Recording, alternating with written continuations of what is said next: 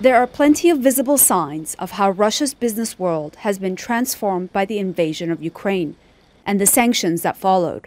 Stores belonging to the Spanish clothing brand Zara are to reopen in June as MAAG, owned by a firm registered in a UAE free zone. IKEA has packed up its flat packed furniture and left the Russian market.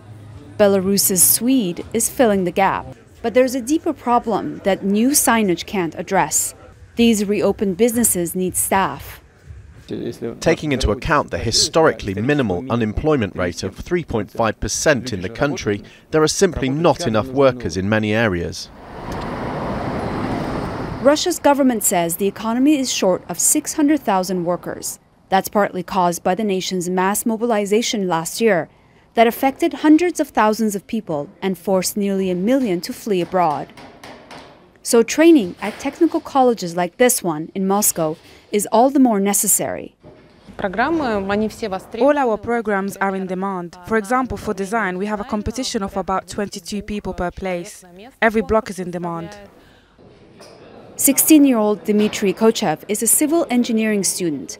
Even though he's in his first year of a three year program, he's got big plans for his future. I chose this specialty because I wanted to be a builder and I like working with my hands. After training, I plan to go to work on site and earn money to open my own business later.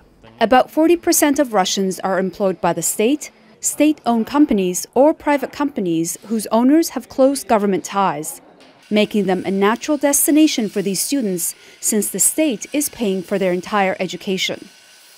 There's already a huge demand for these students even before they finish their degrees. Given the economic isolation facing Russia by Western powers, investing in these teenagers' future is a secure bet the country can minimize the impact of that isolation.